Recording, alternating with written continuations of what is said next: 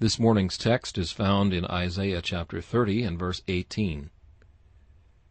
Therefore will the Lord wait, that he may be gracious unto you. God often delays in answering prayer. We have several instances of this in sacred scripture. Jacob did not get the blessing from the angel until near the dawn of day. He had to wrestle all night for it.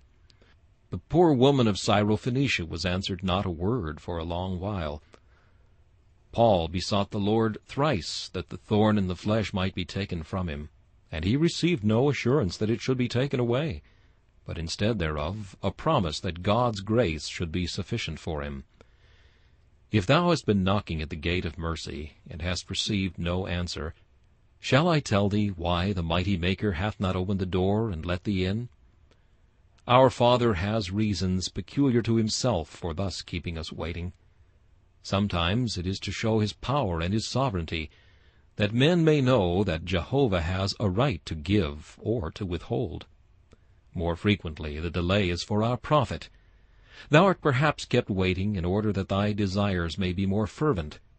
God knows that delay will quicken and increase desire, and that if he keeps thee waiting, thou wilt see thy necessity more clearly, and will seek more earnestly, and that thou wilt prize the mercy all the more for its long tarrying. There may also be something wrong in thee, which has need to be removed before the joy of the Lord is given. Perhaps thy views of the gospel plan are confused, or thou mayest be placing some little reliance on thyself instead of trusting simply and entirely to the Lord Jesus.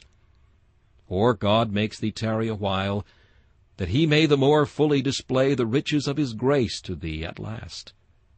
Thy prayers are all filed in heaven, and if not immediately answered, they are certainly not forgotten, but in a little while shall be fulfilled to thy delight and satisfaction.